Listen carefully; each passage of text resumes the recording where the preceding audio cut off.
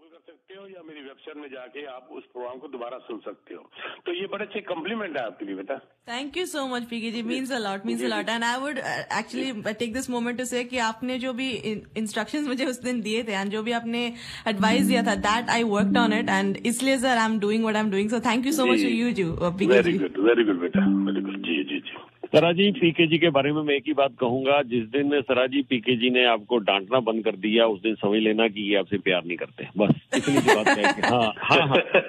इनकी इनकी छत्र छाया में समझ लीजिए कि जिस दिन तक हम इनकी छत्र छाया में हैं, हमारा, हमारी ज़िंदगी आसान है, ठीक है? हमारी ज़िंदगी अच्छी चलेगी, क्योंकि पीके जी की बात मुझे बहुत अच्छी लगती है।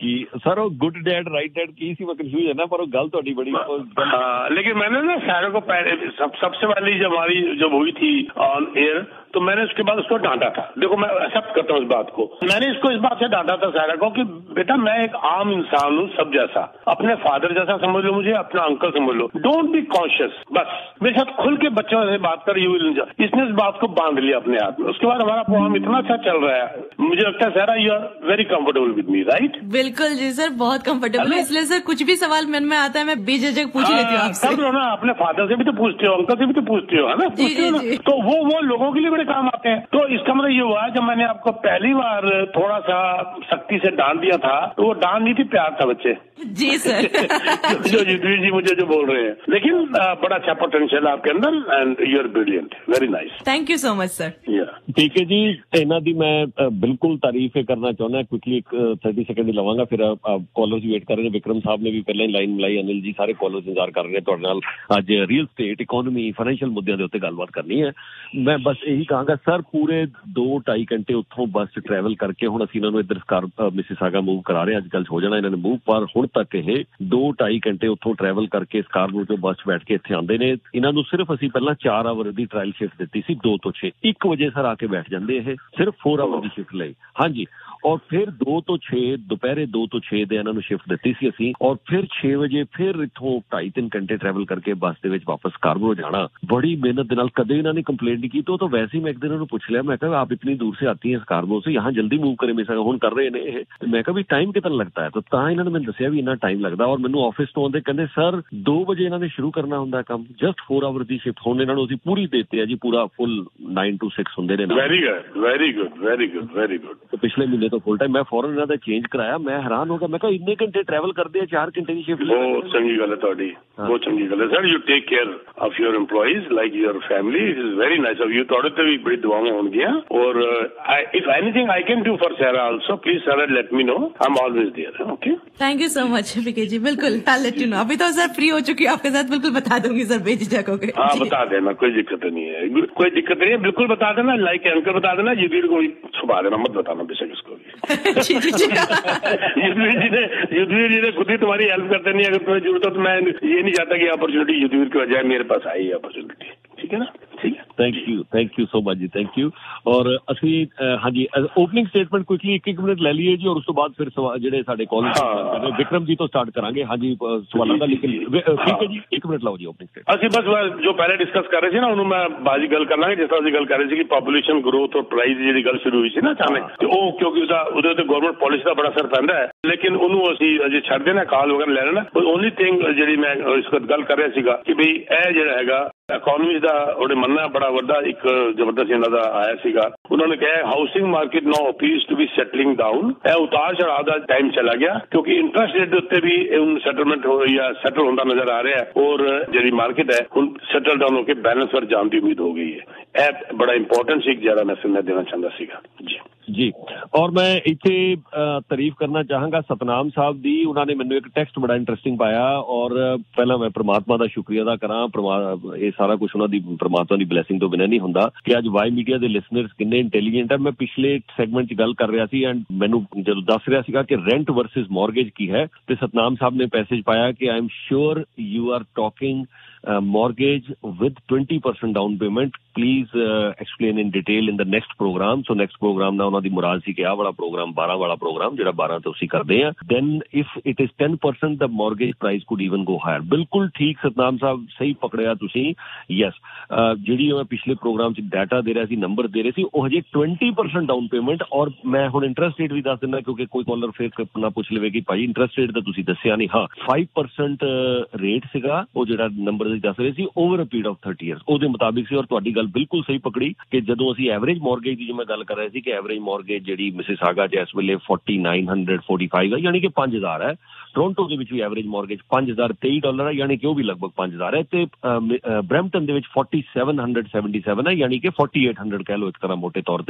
4800 ਹੈ ਤੋਂ 5000 ਦੇ ਨੇੜੇ ਤੇੜੇ ਹੀ ਇਹ 20% ਡਾਊਨ ਪੇਮੈਂਟ ਨਾਲ ਮੈਂ ਸਾਰੇ ਨੰਬਰਸ ਤੁਹਾਨੂੰ ਸ਼ੇਅਰ ਕਰ ਰਿਹਾ ਸੀ। ਜੇ 10% ਕਰੋਗੇ ਤਾਂ ਫਿਰ ਜ਼ਾਹਿਰ ਜੀ ਗੱਲ ਹੈ ਫਿਰ ਮਾਰਗੇਜ ਹੋਰ ਵੱਧ ਜਾਏਗੀ। ਇਹ ਗੱਲ ਸਤਨਾਮ ਸਾਹਿਬ ਸਹੀ ਪਕੜੀ ਤੁਸੀਂ। ਗੁੱਡ ਇੰਟੈਲੀਜੈਂਟ ਲਿਸਨਰ ਦਾ ਮਜ਼ਾ ਆਉਂਦਾ ਹੈ।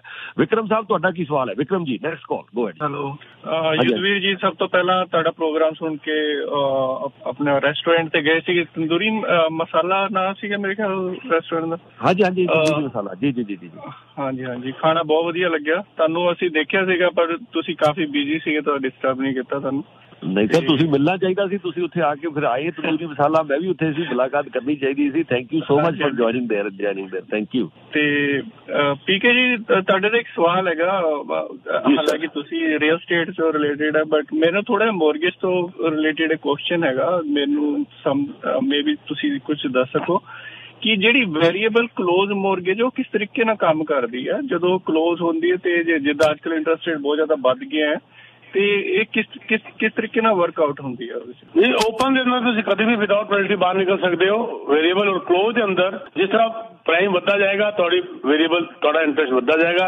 ਘਟੇ ਘਟੇ ਕਰਦਾ ਜਾਏਗਾ ਓਪਨ ਦੇ ਅੰਦਰ ਵੀ ਸੇਮ ਹੈ ਕਲੋਜ਼ ਅੰਦਰ ਵੀ ਸੇਮ ਹੈ only the difference is open ਦੇ ਅੰਦਰ ਤੁਸੀਂ ਨਿਕਲ ਸਕਦੇ ਹੋ ਬਾਹਰ ਵਿਦਆਊਟ ਐਨੀ ਪੈਨਲਟੀ ਕਲੋਜ਼ ਅੰਦਰ ਤੁਹਾਨੂੰ 3 ਮਹੀਨੇ ਦਾ ਇੰਟਰਸਟ ਦਾ ਡਿਫਰੈਂਸ ਦੇ ਕੇ ਨਿਕਲਣਾ ਹੋਏਗਾ ਜੀ ਇੰਟਰਸਟ ਦੇ ਕੇ ਨਿਕਲਣਾ ਹੋਏਗਾ ਕਲੋ ਅਗਰ ਤੁਸੀਂ ਮਾਰਕੀਟ ਤੋਂ ਨਿਕਲਣਾ ਚਾਹੁੰਦੇ ਹੋ ਬਾਹਰ ਲੇਕਿਨ ਜਿਹੜੀ ਅਗਰ ਪ੍ਰਾਈਮ ਵੱਧਦਾ ਜਾਏਗਾ ਤੁਹਾਡਾ ਵੀ ਇੰਟਰਸਟ ਵੱਧਦਾ ਜਾਏਗਾ ਪ੍ਰਾਈਮ ਕਰਦਾ ਜਾਏਗਾ ਸਪੋਜ਼ ਕਰੋ ਤੁਹਾਡਾ ਹੈਗਾ ਪ੍ਰਾਈਮ 0.25 ਜਾਂ ਪ੍ਰਾਈਮ 0.5 तो जो भी प्राइम अगर प्राइम फाइव परसेंट आएगा तो थोड़ा फोर पॉइंट फाइव हो जाएगा। अगर प्राइम सिक्स परसेंट चला जाएगा तो फाइव पॉइंट फाइव आ जाएगा। जिस तरह प्राइम बढ़ता जाएगा थोड़ा भी इंटरेस्ट बढ़ता जाएगा। प्राइम करता जाएगा थोड़ा भी इंटरेस्ट करता जाएगा। जी। नहीं वेरिएबल क्लोज मोर्गेज की गल कर रहे हैं। हाँ जी हाँ जी जी। वेरिएबल क्लोज ही मैं गल कर रहा वेरिएबल क्लोज जिस तरह वेरिएबल क्लोज तीन साल का लै लिया। ਉਹਦੇ ਅੰਦਰ ਪੈਨਲਟੀ ਅਗਰ ਓਪਨ ਹੈਗਾ ਤਾਂ ਉਹਦਾ ਕੋਈ ਪੈਨਲਟੀ ਨਹੀਂ। ਬਸ ਇਹੀ ਫ਼ਰਕ ਹੈ ਦੋਨੋਂ ਦੇ ਅੰਦਰ। ਤੁਸੀਂ ਨਿਕਲ ਨਹੀਂ ਸਕਦੇ ਬਾਹਰ। ਕਿਉਂਕਿ ਮੇਰੇ ਕੋਲ ਜਦੋਂ ਵੇਰੀਏਬਲ ਕਲੋਜ਼ ਹੈ ਮੈਂ ਬੈਂਕ ਵੀ ਗਿਆ ਉਹਨਾਂ ਨੇ ਵੀ ਨਹੀਂ ਸਮਝਾਇਆ ਮੈਨੂੰ ਕਿੱਦਾਂ। ਕਿਉਂਕਿ ਹੁਣ ਇੰਟਰਸਟ ਰੇਟ ਵਧੀ ਜਾ ਰਿਹਾ ਲੇਕਿਨ ਮੇਰਾ ਮੇਰਾ ਜਿਹੜਾ ਮੋਰਗੇਜ ਅਮਾਉਂਟ ਹੈ ਉਹ ਸੇਮ ਹੈ। ਮਤਲਬ ਕਿਹੜਾ ਬੈਂਕ ਤੁਹਾਡਾ? ਰੋਜ਼ ਲਾਈਕ ਮਤਲਬ ਮੇਰਾ ਜਿਹੜਾ ਪ੍ਰੀਮੀਅਮ ਉਹ ਜਿਹੜਾ ਹੋਗਾ ਮੋਰਗੇਜ ਦਾ ਮੰਥਲੀ ਪ੍ਰੀਮੀਅਮ ਜਿਹੜਾ ਉਹ ਵੱਧ ਨਹੀਂ ਰਿਹਾ। ਉਸ ਹਾਂ ਮੈਂ ਸਮਝ ਗਿਆ ਤੁਹਾਡੀ ਗੱਲ। ਤੋਂ ਤੁਹਾਡਾ ਬੈਂਕ ਕਿਹੜਾ ਮੈਂ ਕਹਿ ਰਿਹਾ। ਬੈਂਕ ਲੈਂਡਰ ਕਿਹੜਾ ਹੈ ਮੇਰਾ ਹੈਗਾ ਸੀਆਈਬੀਸੀ ਹੈਗਾ ਜੀ ਹਾਂ ਤੇ ਉਹਨਾਂ ਦੇ ਅੰਦਰ ਕੀ ਕਰ ਰਹੇ ਹੋਣਗੇ ਉਹ ਤੁਹਾਨੂੰ ਐਡਜਸਟਰ ਕਰ ਰਹੇ ਹੋਣਗੇ ਤੁਹਾਡੇ ਪ੍ਰੀਮੀਅਮ ਨਹੀਂ ਵਧਾ ਰਹੇ ਤੁਹਾਡਾ ਪ੍ਰਿੰਸੀਪਲ ਘਟਦਾ ਜਾ ਰਿਹਾ ਤੁਹਾਡਾ ਇੰਟਰਸਟ ਪੋਰਸ਼ਨ ਵੱਧਦਾ ਜਾ ਰਿਹਾ ਆਰਬੀਸੀ ਵੀ ਇਹੀ ਕੰਮ ਕਰ ਰਿਹਾ ਹੈਗਾ ਇਹਨਾਂ ਕੋਲ ਆਉਂਦੇ ਨੇ ਯਾਰ ਗਾਂਜੀ ਤੁਸੀਂ ਉਹਨਾਂ ਨਾਲ ਵੀ ਗੱਲ ਕਰੋ ਜਾਂ ਤੁਸੀਂ ਮੇਰੇ ਆਫਿਸ ਗੱਲ ਕਰੋ ਤੁਹਾਨੂੰ ਪੂਰਾ ਸਮਝਾ ਦੇਣਗੇ ਲੇਕਿਨ ਇਹ ਫੈਕਟ ਹੈਗਾ ਕੁਝ ਬੈਂਕ ਜਿਹੜੇ ਨੇ ਉਹ ਤੁਹਾਡੇ ਪ੍ਰੀਮੀਅਮ ਸੇਮ ਰੱਖ ਰਹੇ ਨੇ ਇੱਕ ਲੈਵਲ ਤੱਕ ਉਹਦੇ ਅੰਦਰ ਤੁਹਾਡਾ ਪ੍ਰਿੰਸੀਪਲ ਕਈ ਅੰਦਰ ਇਸ ਤਰ੍ਹਾਂ ਵੀ ਹੋ ਗਿਆ ਕਿ ਪ੍ਰਿੰਸੀਪਲ ਜ਼ੀਰੋ ਹੋ ਗਿਆ ਉਤਰਨਾ ਔਰ ਸਾਰਾ ਇੰਟਰਸਟ ਵੱਧੀ ਜਾ ਰਿਹਾ ਹੈਗਾ ਤੁਸੀਂ ਉਹਨਾਂ ਕੋਲ ਸਟੇਟਮੈਂਟ ਮੰਗੋ ਤੁਹਾਨੂੰ ਸਾਰੀ ਡਿਟੇਲ ਆ ਜਾਏਗੀ ਤੇ ਜਦੋਂ ਮੰਨ ਲਓ ਜਦੋਂ ਮੈਂ ਰੀਨਿਊ ਕਰਾਉਂਗਾ ਤਾਂ ਮੈਨੂੰ ਜਿਹੜਾ ਹੈਗਾ ਪ੍ਰਿੰਸੀਪਲ ਇਨਕਰੀਜ਼ ਹੋ ਗਿਆ, ਮਤਲਬ ਕਿ ਟੋਟਲ ਅਮਾਉਂਟ ਦਾ ਹੋਮ ਜਿਹੜਾ ਉਹਦਾ ਮੋਰਗੇਜ ਦਾ ਅਮਾਉਂਟ ਜ਼ਿਆਦਾ ਹੋਊਗਾ, ਫਿਰ ਉਦੋਂ? ਨਹੀਂ ਨਹੀਂ ਅਮਾਉਂਟ ਤੁਹਾਡਾ ਜ਼ਿਆਦਾ ਹੋਣ ਤੋਂ ਪਹਿਲੇ ਤੁਹਾਡਾ ਫਿਰ ਉਹ ਤੁਹਾਡਾ ਕਿਸ਼ਤ ਵਧਾ ਦੇਣਗੇ। ਪ੍ਰਿੰਸੀਪਲ ਨਹੀਂ ਵਧਾਣਗੇ ਉਹ ਦੇਖ ਲੈਣਾ।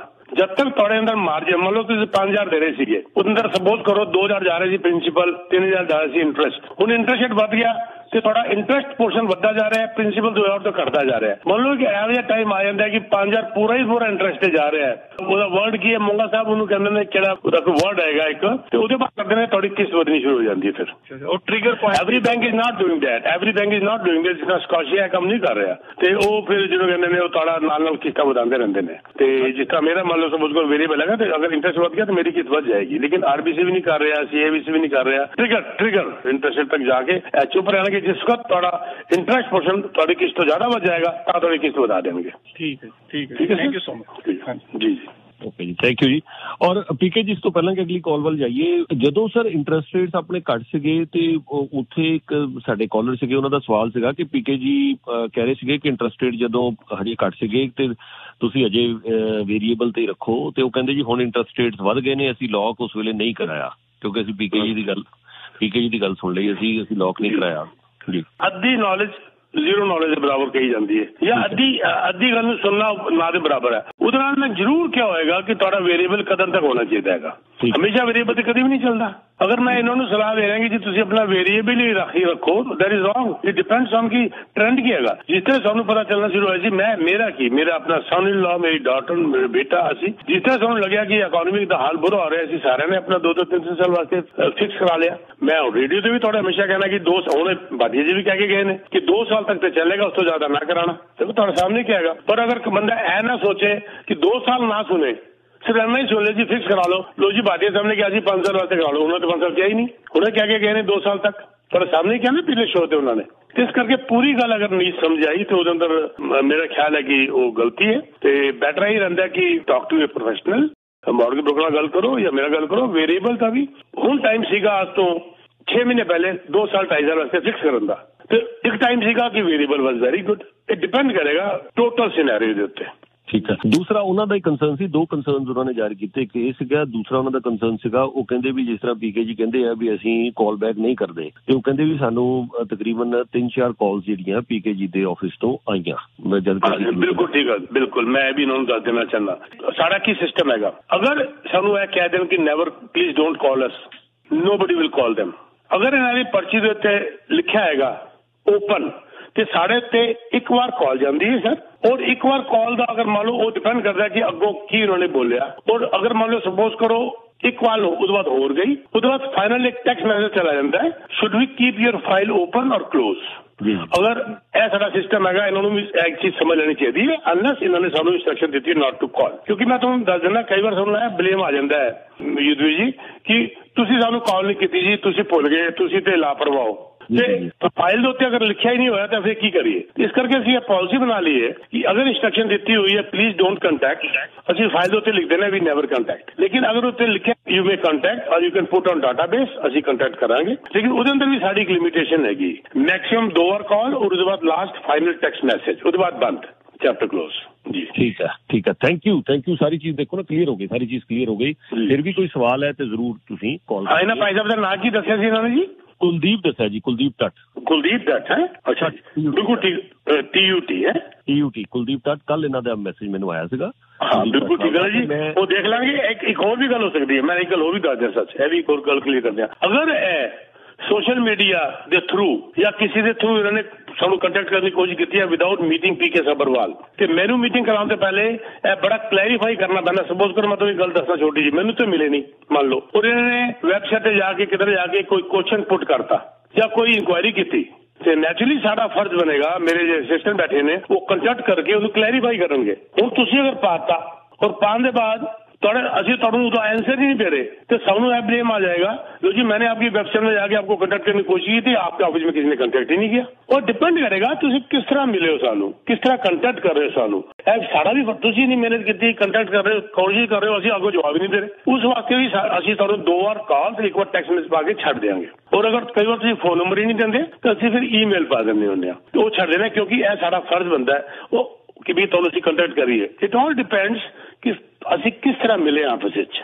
ਮੈਨੂੰ ਪਰਸਨਲੀ ਆ ਕੇ ਅਗਰ ਮਿਲਿਓ ਤੇ 99% we never call back 99% otherwise unless there is a confusion in the list ki okay i'll let you know ਗੱਲ ਖਤਮ ਹੋ ਗਈ ਲੈਟ ਯੂ ਨੋ ਦੇ ਅੰਦਰ ਅਗਰ ਲਿਖਿਆ ਹੁੰਦਾ ਜੀ I let you know in 15 days ਅਸੀਂ 16ਵੇਂ ਦਿਨ ਕਾਲ ਜਾਂਦੀ ਹੈ ਤੁਸੀਂ ਸਾਨੂੰ ਦੱਸਣਾ ਸੀਗਾ 15 ਦਿਨ ਦੇ ਅੰਦਰ is everything okay uh shall we close the file ਬਹੁਤ ਸਿਸਟਮ ਬੜਾ ਢੰਗ ਨਾਲ ਬਣਿਆ ਹੋਇਆ ਹੈ ਉਹਦੇ ਨਾਲ ਜਿਹਨੂੰ ਕਹਿੰਦੇ ਨੇ ਕੋਈ ਸ਼ਿਕਾਇਤ ਵਾਲੀ ਗੱਲ ਹੀ ਨਹੀਂ ਰਹਿ ਜਾਂਦੀ ਜੀ ਠੀਕ ਹੈ ਜੀ ਬਿਲਕੁਲ ਬਿਲਕੁਲ ਔਰ ਬਲਕਿ ਮੈਂ ਤੇ ਇੱਥੇ ਇਹੀ ਗੱਲ ਅ, ਕਹਾਂਗਾ ਕਿ ਅਮ, ਜਿਹੜੀ ਪੀਕੇ ਜੀ ਦੀ ਗੱਲ ਹੈ ਉਹ ਮੈਨੂੰ ਇੱਕ ਹੀ ਇੱਕ ਹੀ ਜਿਹੜੀ ਇਸ ਤੋਂ ਪਹਿਲਾਂ ਇੱਕ ਇਹਨਾਂ ਨੇ ਮੈਨੂੰ ਕੰਸਰਨ ਪਿਛਲੇ 17 18 ਸਾਲਾਂ 'ਚ ਇੱਕ ਇਹਨਾਂ ਨੇ ਕੰਸਰਨ ਜ਼ਾਹਿਰ ਕੀਤਾ ਹੈ। ਇੱਕ ਬਸ ਹੋਰ ਕੰਸਰਨ ਆਇਆ ਸੀ ਉਹ ਮੇਰੇ ਆਪਣੇ ਫਰੈਂਡ ਦਾ ਪਿਛਲੇ 17 18 ਕਦੇ ਵੀ 17 18 ਸਾਲ 'ਚ ਕੋਈ ਕੰਸਰਨ ਨਹੀਂ ਆਇਆ। ਅੱਜ ਕੰਸਰਨ ਆਇਆ ਮੈਂ ਔਨ ਦੀ ਏਅਰ ਡਿਸਕਸ ਕਰਤਾ ਜੇ ਕੰਸਰਨ ਹਾਂ ਔਰ ਇਹ ਵੀ ਨਾ ਕੰਸਰਨ ਨਹੀਂ ਹੈ ਇਹ ਵੀ ਮੈਂ ਗੌਰ ਗੱਲ ਪੁੱਛਣੀ ਭਾਈ ਭਾਈ ਸਾਹਿਬ ਕੋਲ ਅਗਰ ਮੈਨੂੰ ਬਾਅਦ ਕਾਲ ਕਰ ਲੈਣ। ਤੇ ਹੋ ਸਕਦਾ ਹੈ ਨਿਊ ਜਨ ਰਿਲੇਟਿਵਸ ਦਾ ਕੋਈ ਏਜੰਟ ਹੈ ਜਿਹਨੂੰ पीके सब्रवाल सोच रहे उनकी पीके सब्रवाल ने कॉल करती है मेरे असिस्टेंट ने करती वो भी हो सकता टीम सब्रवाल के किसी एजेंट गल कर रहे होंगे ऐसा सोच रहे उनकी पीके सब्रवाल ने कॉल करती देखो टीम सब्रवाल के अंदर भी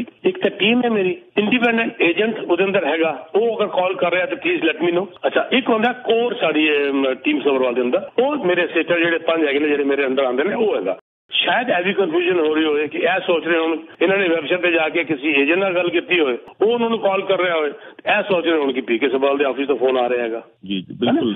ਕਈ ਗੱਲਾਂ ਨੇ ਜਿਹੜੀ ਕਲੈਰੀਫਾਈ ਕਰਨੀ ਬਹੁਤ ਜ਼ਰੂਰੀ ਨੇ। ਮੈਂ ਇਹਨਾਂ ਦਾ ਬਹੁਤ ਸ਼ੁਕਰਗੁਜ਼ਾਰ ਹੋਵਾਂਗਾ ਅਗਰ ਇਹ ਮੈਨੂੰ ਬਾਅਦ ਵਿੱਚ ਟੈਕਸਟ ਮੈਸੇਜ ਪਾ ਕੇ ਮੈਨੂੰ ਆਪਣਾ ਨੰਬਰ ਦੇ ਦੇਣ ਮੈਂ ਕਾਲ ਕਰਕੇ ਇਹਨੂੰ ਕਲੈਰੀਫਾਈ ਕਰ ਦੇਵਾਂਗਾ ਗੱਲ ਨੂੰ। ਠੀਕ ਹੈ ਨਾ? ਹਾਂ ਨੰਬਰ ਮੇਰੇ ਕੋਲ ਹੈ ਮੈਂ ਵੀ ਨੰਬਰ ਤੁਹਾਨੂੰ ਦੇ ਦਿਆਂਗਾ ਇਹਨਾਂ ਦਾ। ਇਹਨਾਂ ਨੇ ਇਹਨਾਂ ਨੇ ਮੈਨੂੰ ਕਹਿ ਮੈਂ ਕੱਲ ਪੁੱਛ ਲਿਆ ਸੀ ਵੀ ਤੁਹਾਡਾ ਨਾਮ ਮੈਂ ਲੈ ਸਕਦਾ ਜਾਂ ਕਹਿੰਦੇ ਜੀ ਇਹਨਾਂ ਨੇ ਕਿਹਾ ਸੀ ਹਾਂਜੀ ਮੇਰਾ ਨਾਮ ਲੈ ਸਕਦੇ ਹੋ ਤਾਂ ਮੈਂ ਲਿਆ। ਬਹੁਤ ਚੰਗੀ ਗੱਲ ਹੈ ਬਹੁਤ ਚੰਗੀ ਗੱਲ ਹੈ। ਠੀਕ ਠੀਕ ਠੀਕ ਹਾਂ ਮੈਂ ਲੈ ਦੂਸਰਾ ਲਾਂਗਾ ਤੁਹਾਨੂੰ ਬਾਅਦ ਵਿੱਚ ਹਾਂ ਤੁਸੀਂ ਇਹਨਾਂ ਤੋਂ- ਇਹਨਾਂ ਤੋਂ ਜਿਹੜਾ ਨੰਬਰ ਹੈ ਉਹ ਜ਼ਰੂਰ ਤੁਸੀਂ ਲੈ ਲੈਣਾ ਜੀ ਅਹ, ਗਿਰੀਸ਼ ਜੀ ਤੁਸੀਂ ਆਉਂਦੇ ਰਹੋ ਗਿਰੀਸ਼ ਜੀ ਕੋ ਹੈ सरवाल जी मंगा जी नमस्कार है जी नमस्कार सर सर सरवाल जी जब पहले वाले प्रोग्राम में आप वो जो कह रहे थे कि वो जो इमिग्रेंट्स आ रहे हैं तो वो सुन के तो थोड़ा सा अपने बड़े दिनों बाद ये बोला लेकिन वो काफी खुशी हुई मुझे कि एटलीस्ट अब कुछ रियलाइज हो रहा है ना जी, कि जी। क्वालिटी जिस तरह की क्वालिटी आ रही है क्योंकि जो जिस प्रोफेशन में होटल मैनेजमेंट कस्टमर सर्विस और ये सब अब ये सब तो वो, वो आईएलटीएस का एग्ज़ाम दे के आते हैं तो यहाँ पे तो वो पता नहीं कैसे पास हो जाते हैं ना।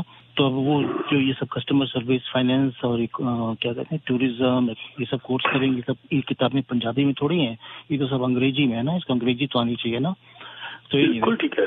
हाँ दूसरा ये है कि देखिए तीन चार साल पहले जब मैंने यहीं पे बोला था कि ये जिस तरीके से घरों के दाम बढ़ रहे हैं तो उसी से हो रहा अब तो रेंट भी बढ़ गया ना। तो आप कह रहे थे कि नहीं अब उनकी चिंता मत करो मैं अपनी चिंता करो राइट अपने को बोला। तो ये सब मेरे कहने का पॉइंट ये है कि ये सब कुछ साइन होते हैं कि जिससे हमें समझ जाना चाहिए सरकार को और इन लोगों को कि, कि ये बुरे दिन आने वाले हैं ऐसा कुछ होने वाला है। है ना? अब बताइए जो ये लोबला क्या कहते हैं मेट्रो की जो स्ट्राइक चल रही है इन लोगों का जी भर गया होगा, जब तो अभी बेचारे सब स्ट्राइक पे आ गए हैं ना? कि अब ये इस वजह से ये कहाँ तो ये किराया देने लायक भी नहीं बचे, घर खरीदना तो भूल जाओ, है ना? सर इनकी एवरेज जो है सैलरी अगर 26 डॉलर पर आवर है तो मैं तो परेशान उन लोगों से भी बहुत ज़्यादा हूँ जिनकी 16 डॉलर है साढ़े सोलह डॉलर। उनका क्या हाल होता होगा? तो भगवान साहब जो मेट्रो वेट्रो वाले बंदे हैं ये सोलह सत्रह अठारह डॉलर वाले हैं इसे सर मैंने तो न्यूज़ देखी है यूजली जी बताएँगे जो इनके ऊपर वाले रैंक वाले हैं वो 40 डॉलर सिक्सटी एट सेंट तक है। जो नीचे वाला लेवल है 26 डॉलर समथिंग है। 25 डॉलर 77 समथिंग ऐसा है जी। साहब जो कैशियर पे खड़े होते हैं ये सब मिनिमम वाले वाला ही पता नहीं मैं तो न्यूज़ बता रहा हूँ जी आपको जो मेरे जो मैंने न्यूज़ देखी है। दूसरा वो जो सेल्फ सेल्फ चेकआउट लगा के उनकी भी बेड़ागर कर दिया राइट उनकी भी आधो की नौकरी चली गई उनको सबको पार्ट टाइम कर दिया है ना? और देखो इनके खुद के प्रॉफिट कितने ज़बरदस्त बढ़ते जा रहे हैं और सैलरी को ऊपर ये ध्यान नहीं दे रहे हैं लोग लोग भूखे मर रहे हैं बेचारे उनकी सैलरी इनको बहुत कम है और देखो खुद के प्रॉफिट देखो कितने गुना हो रहे हैं इन लोगों के। अब ये तो पूरी सरकार की पूरी महानालायकी तो वर्ड तो फिर ये कहते हैं जी हम बैठ के मीटिंग करके आए हैं इनके साथ और उन्होंने ये कहा है वो कहा सब बकवास है मेरे हिसाब से।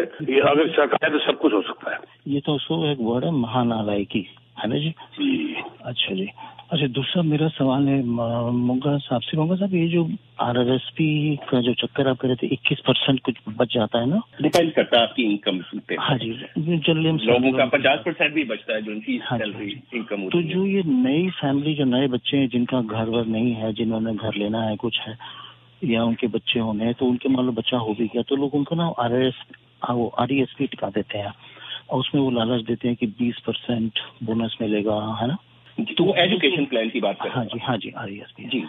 तो वो जो जिसका घर नहीं है तो उसको तो आर एस पी तो नहीं लेनी चाहिए ना, उसको तो आर पी लेनी चाहिए। वहाँ से बीस बीस परसेंट पहले इक्कीस परसेंट मिनिमम टैक्स वहाँ से बच जाएगा। तो क्योंकि कहने का पॉइंट ये है कि जिसके बच्चे के माँ बाप का फ्यूचर सही नहीं है तो बच्चे का फ्यूचर कैसे सही होगा जी? ये मैं कहना चाहता हूँ। गिरीश जी, आज आपने ना बहुत अच्छी बात बोली है मेरे को मज़ा आ गया ये सुन। इंडिविजुअल सिचुएशन होती है वैसे हर एक की, ऐसा नहीं है कि अगर लोगों के पास पैसा है घर खरीदने के लिए भी और बच्चे की आर में डालने के लिए भी तो ज़रूर करनी चाहिए। ठीक है?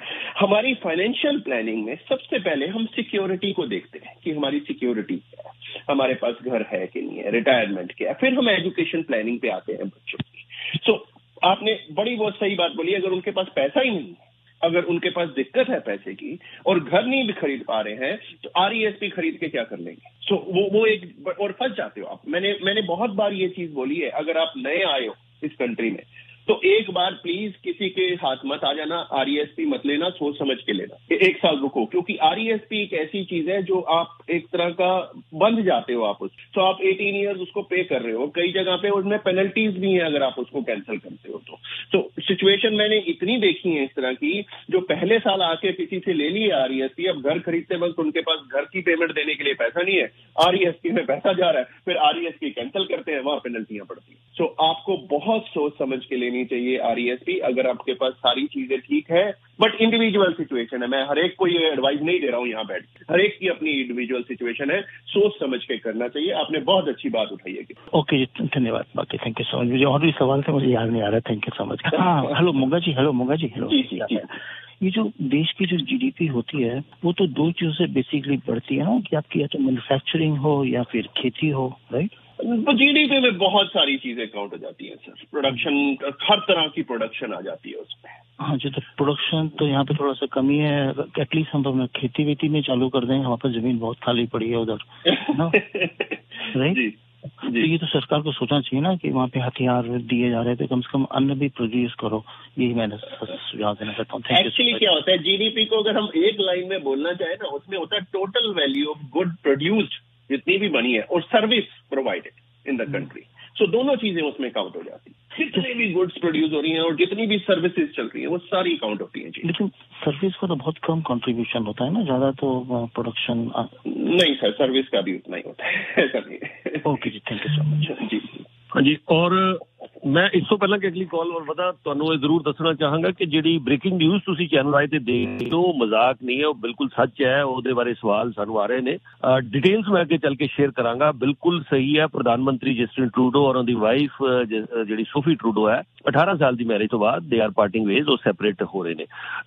ਇਹਦੇ ਬਾਰੇ ਬਹੁਤ ਸਾਰੀਆਂ ਚੀਜ਼ਾਂ, ਤੁਹਾਨੂੰ ਪਤਾ ਹੈ ਕਿ ਸਾਡੇ ਕੋਲ ਮੀਡੀਆ ਹੈ। ਸੋ ਸਾਡੇ ਕੋਲ ਕੋਸ- ਬਹੁਤ ਸਾਰੀਆਂ ਖਬਰਾਂ ਹੁੰਦੀਆਂ ਨੇ ਬਹੁਤ ਦੇਰ ਦੀਆਂ ਖਬਰਾਂ ਨੇ ਕਈ ਸਾਰੀਆਂ ਔਰ ਅ, ਸਾਡੀ ਕੋਸ਼ਿਸ਼ ਹੁੰਦੀ ਹੈ ਕਿ ਅਸੀਂ ਖਬਰ ਜਿਹੜੀ ਹੈ ਜਦੋਂ ਤੱਕ ਕਨਫਰਮ ਨਾ ਹੋਏ ਨਾ ਤੁਹਾਡੇ ਨਾਲ ਸ਼ੇਅਰ ਕੀਤੀ ਹੈ ਕਾਰਨ ਬਹੁਤ ਸਾਰੇ ਨੇ ਮੈਂ ਇੰਤਜ਼ਾਰ ਕਰਾਂਗਾ ਔਰ ਅ, ਜਿਹੜੇ political as a matter of fact this is quite interesting ਕਿ ਪਰਸੋਂ ਹੀ ਮੇਰੀ ਕਿਸੇ ਦੇ ਨਾਲ ਗੱਲ ਹੋ ਰਹੀ ਸੀਗੀ ਔਰ ਉਹਨਾਂ ਨੇ ਟਰੂਡੋ ਸਾਹਿਬ ਔਰ ਇੱਕ ਅ, ਮਹਿਲਾ ਦੇ ਬਾਰੇ I will not name somebody ਤੇ ਇੱਕ ਕੋਈ ਗੱਲ ਵੀ ਕੀਤੀ ਸੀ ਸੋ ਮੈਂ ਇੱਥੇ ਬਸ ਇੰਨੀ ਹੀ ਗੱਲ ਕਰਾਂਗਾ ਕਿ ਯੈਸ ਜਿਹੜੀ ਖਬਰ ਹੈ ਚੈਨਲ ਵਾਈ ਤੇ ਉਹ ਕਨਫਰਮ ਹੈ ਕਿ ਯੈਸ ਪ੍ਰਧਾਨ ਮੰਤਰੀ ਜਸਟਿਨ ਟਰੂਡੋ 18 ਸਾਲ ਦੀ ਮੈਰਿਜ ਤੋਂ ਬਾਅਦ ਹੁਣ ਅਲੱਗ-ਅਲੱਗ ਹੋ ਰਹੇ ਨੇ ਸੋਫੀ ਟਰੂਡੋ।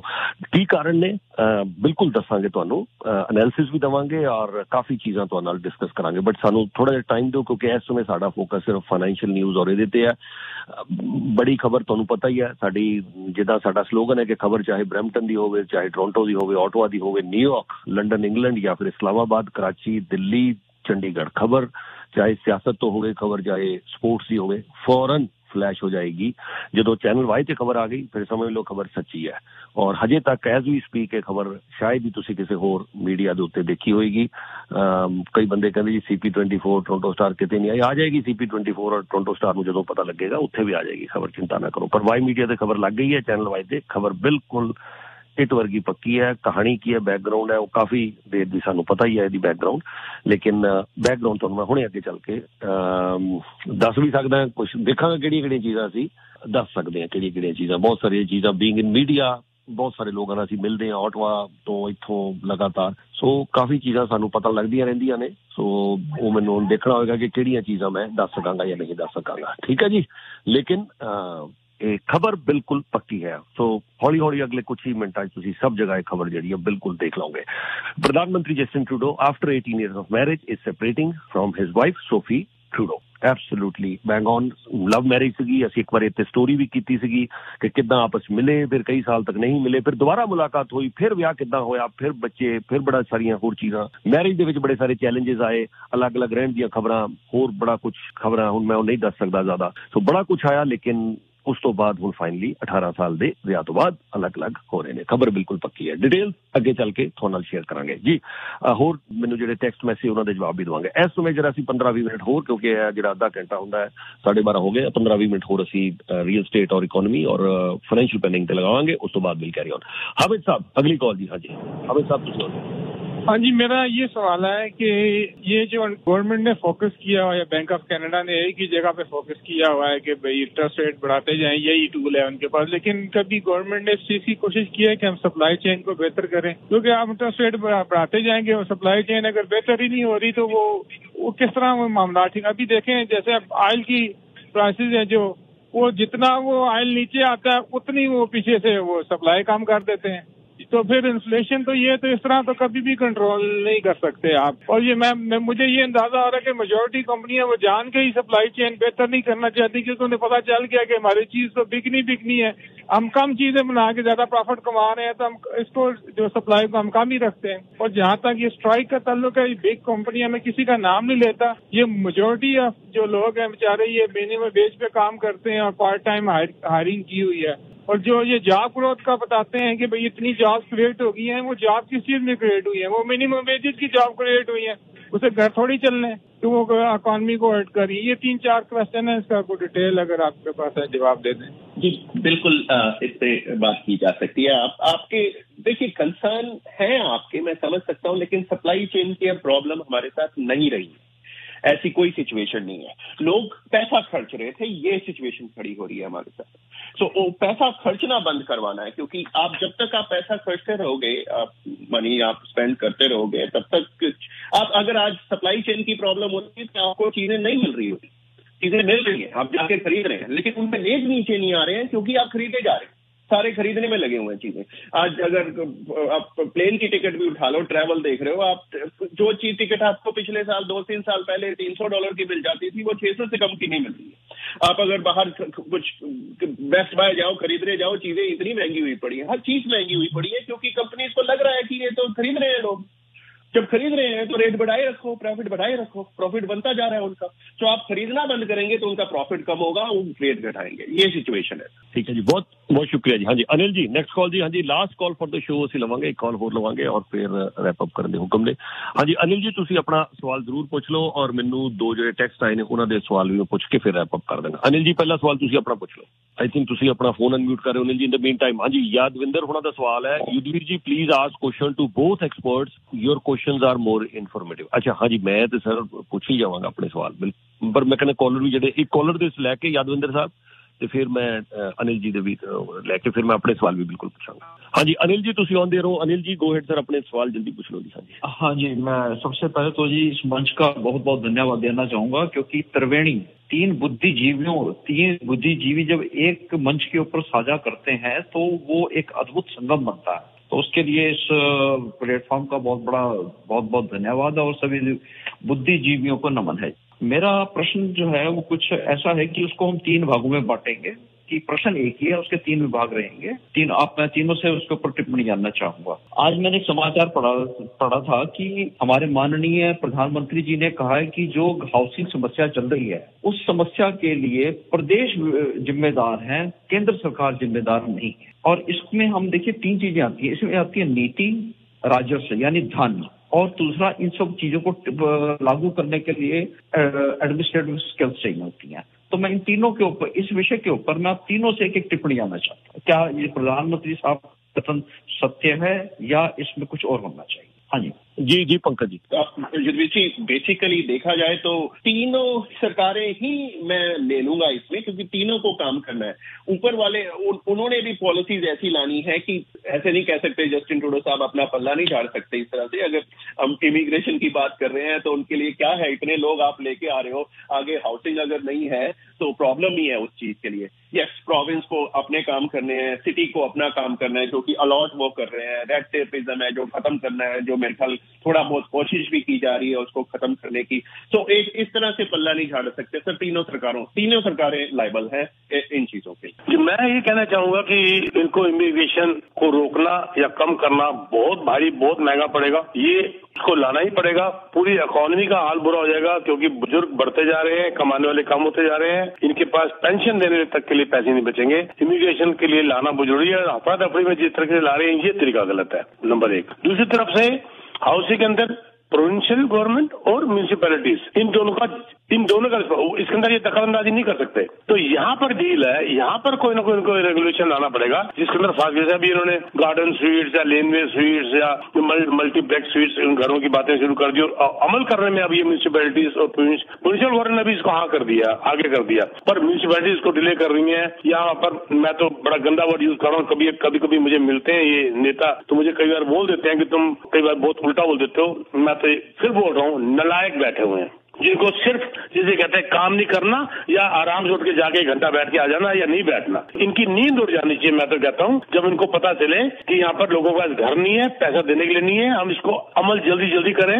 इसके ऊपर एक कमेटी बिठाए, जो भी करे। अगर वो बिल्डिंग कोड वाले कहते होंगे, जी, ये करो तो एनवायरमेंट वाला बोलता होगा, ये करो। और वो ग्रीन बेल्ट वाले बोलते होंगे, ये करो। और जिसे कहते हैं प्लानिंग प्लानिंग जो इनका डिपार्टमेंट है, वो कहता होगा, ये करो। इनका आपस में तालमेल ही नहीं है मेरे हिसाब से, और बहुत हद तक ट्रूडो की बात ठीक है लेकिन इसके अंदर उनका भी कोई ना कोई जैसे कहते हैं उनके ऊपर भी कमी जाएगी ताकि वो इमिग्रेंट्स के अंदर जो लाना का बात है वो तो लाओ पर उसके अंदर कम से कम छटनी या एक क्वालिटी तो कम से कम उसके अंदर डालें। जी। ठीक है जी थैंक यू जी। तेजेंद्र जी युधिर जी युधिर जी आपकी टिप्पणी रहेगी अभी। हाँ जी किस सवाल पे? मेरी टिप्पणी किस सवाल से लिखना चाहते हैं? ये जो मैंने प्रश्न दिया है इसके ऊपर आपकी आपकी पत्रकार होने के नाते आपकी भी टिप्पणी बनती है इसको प्रश्न प्रश्न दोहरा दीजिए। प्रश्न ये जी टूडो साहब ने कहा है कि ये जो हाउसिंग की समस्या है ये जो ये है ये सारा ज़िम्मेदारी उन्होंने प्रोविंशियल गवर्नमेंट के ऊपर डाल दी है और सिटी के ऊपर डाल दिया उन्होंने बोला कि मेरा इस समस्या से कोई लेना देना नहीं है। तो क्या ये सत्य है? नहीं बिल्कुल सत्य नहीं है जी वो भी बहुत कुछ फेडरल सरकार कर सकती है अगर फेडरल प्रोविंशियल और म्यूनिसिपल तीनों गवर्नमेंट्स मिलकर करें तो अफोर्डेबल हाउसिंग के लिए और बहुत सारी चीजों के लिए वो इकट्ठे मिलकर कर सकती हैं मैं एक और परस्पेक्टिव डिस्कशन में ऐड कर, करना चाहूंगा और शायद पीके जी तो पंकज जी उत्ते विचार अपने देंगे बिलियंस ऑफ डॉलर बैंक ਜਿਹੜੇ प्रॉफिट बना रहे हैं बिलियंस ऑफ डॉलर ਫਿਰ ਕੀ ਕਾਰਨ ਹੈ ਕਿ ਜਿਹੜੇ ਇੰਟਰਸਟ ਰੇਟਸ ਓਵਰਨਾਈਟ ਲੈਂਡਿੰਗ ਦੇ ਇੰਟਰਸਟ ਰੇਟਸ ਅਸੀਂ ਇੰਨੇ ਵਧਾਏ ਆ ਔਰ ਮੌਰਗੇਜ ਦੇ ਇੰਟਰਸਟ ਰੇਟ ਜਿਹੜੇ ਇੰਨੇ ਵਧੇ ਨੇ, ਉਹਦੇ ਨਾਲ ਆਮ ਜਿਹੜਾ ਕੈਨੇਡੀਅਨ ਹੈ, ਉਹਦੀ ਤਾਂ ਕਮਰ ਤੋੜ ਕੇ ਰੱਖ ਦਿੱਤੀ ਹੈ। ਜੇ ਦੇਖੋ ਸੇਮ ਘਰ ਹੈ ਸੇਮ ਮਨੀ ਲੈਂਡ ਕੀਤੀ ਹੋਈ ਹੈ। ਸੇਮ ਘਰ ਹੈ ਸੇਮ ਮਨੀ ਲੈਂਡ ਕੀਤੀ ਹੋਈ ਹੈ। ਕੱਲ ਤੱਕ ਮੈਂ ਨਹੀਂ ਕਹਿੰਦਾ ਫ੍ਰੀ ਮਨੀ ਮਿਲਣੀ ਚਾਹੀਦੀ। ਬਿਲਕੁਲ 0% 1% 2% ਤੇ ਫ੍ਰੀ ਮਨੀ ਸੀਗੀ।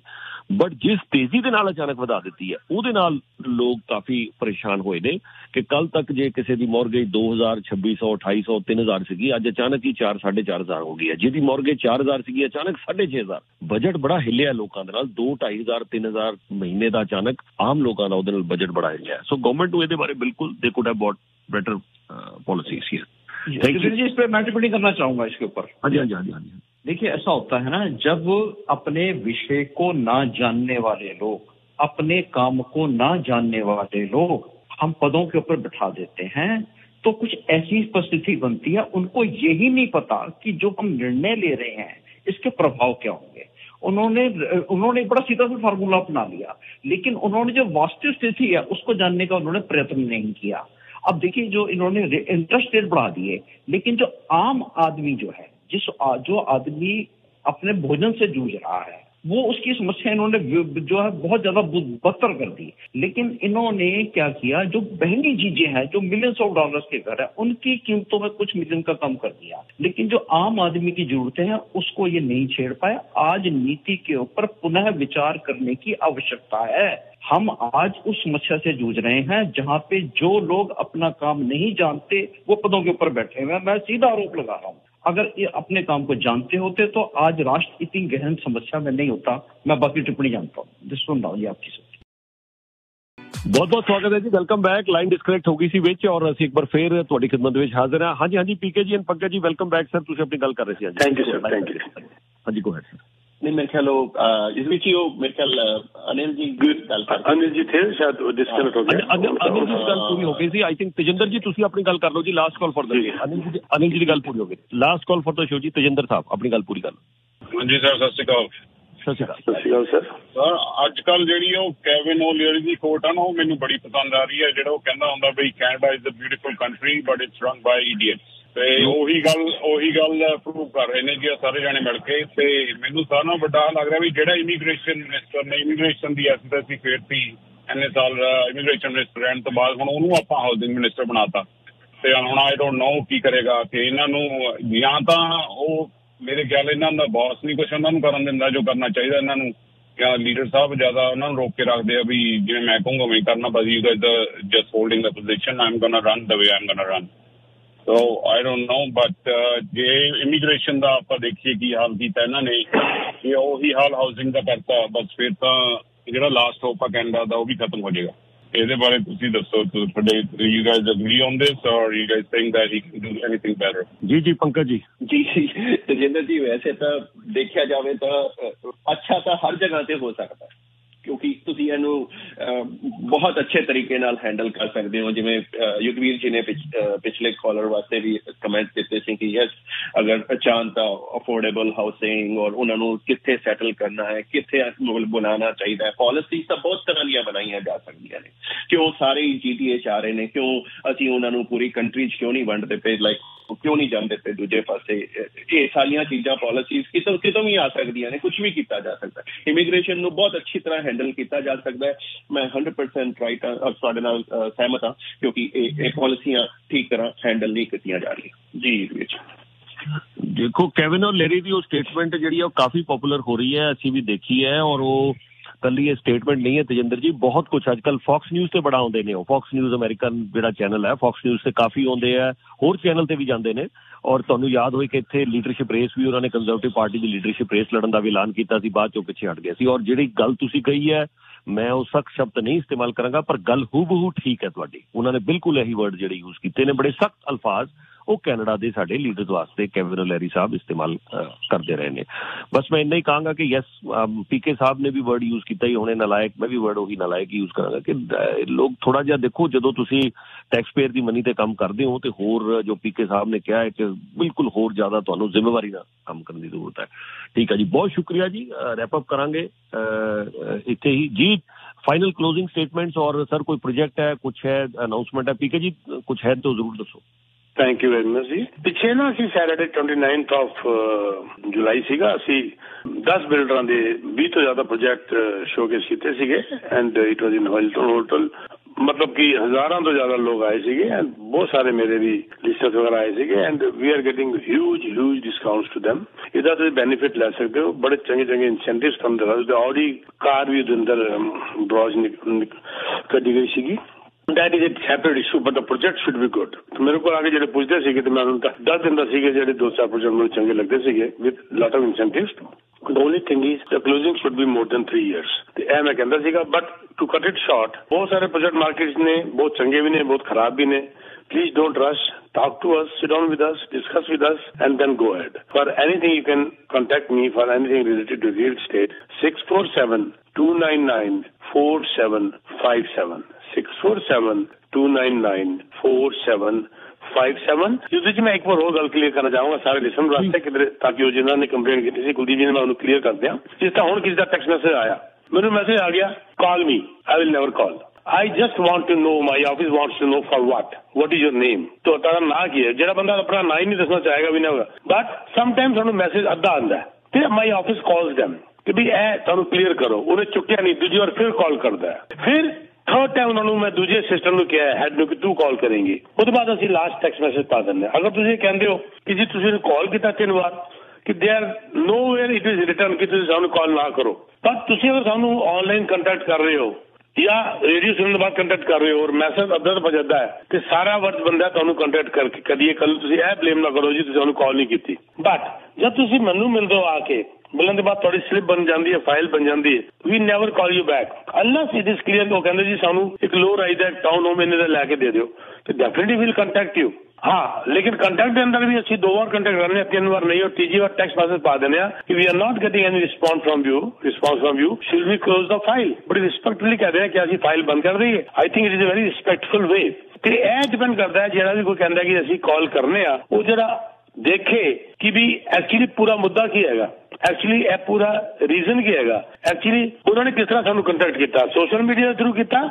ਤੇ ਸਾਡਾ ਅਲੱਗ ਡਿਪਾਰਟਮੈਂਟ ਨੂੰ ਹੈਂਡਲ ਕਰਦਾ ਹੈਗਾ ਜਦ ਤੱਕ ਗੱਲ ਨਹੀਂ ਹੁੰਦੀ ਦੋ ਤਿੰਨ ਵਾਰ ਵੀ ਅਸੀਂ ਕਲੋਜ਼ ਕਰ ਦਿੰਦੇ ਆ ਔਰ ਸਾਡੇ ਏਜੰਟ ਨੂੰ ਅਗਰ ਤੁਸੀਂ ਮਿਲਦੇ ਹੋ ਤੇ ਉਹ ਏਜੰਟ ਕਿੰਨੀ ਵਾਰ ਕਰ ਰਿਹਾ ਲੈਟ ਅਸ ਨੋ ਦਾ ਨੇਮ ਤਾਂ ਕਿ ਜੁਨਾ ਗੱਲ ਕਰੀਏ ਕਿ ਉਹਨੇ ਜ਼ਿਆਦਾ ਤੇ ਨਹੀਂ ਅਟੈਚ ਕਰਤਾ ਜ਼ਿਆਦਾ ਤੇ ਨਹੀਂ ਕਾਲ ਕੀਤਾ ਉਹ ਟੀਮ ਸਵਾਲ ਦਾ ਤੁਹਾਨੂੰ ਮੈਂ ਦੱਸ ਹੀ ਦਿੱਤਾ ਹੈ ਮੈਂ ਇਹਨੂੰ ਬੜਾ ਕਲੀਅਰ ਕਰਨਾ ਚਾਹੁੰਦਾ ਸੀਗਾ ਜੀ ठीक है जी ठीक है जी बिल्कुल बिल्कुल ठीक है जी thank you PK ji for clarifying और कोई प्रोजेक्ट या और कुछ करना चाहो या कुछ भी हो तो फ़ोन नंबर जान तो पहले anything else you quickly want to जी बस for any any any real needs I would say you can contact us 64 647 299 4757. 647 299 4757. Thank you very much, Idviji.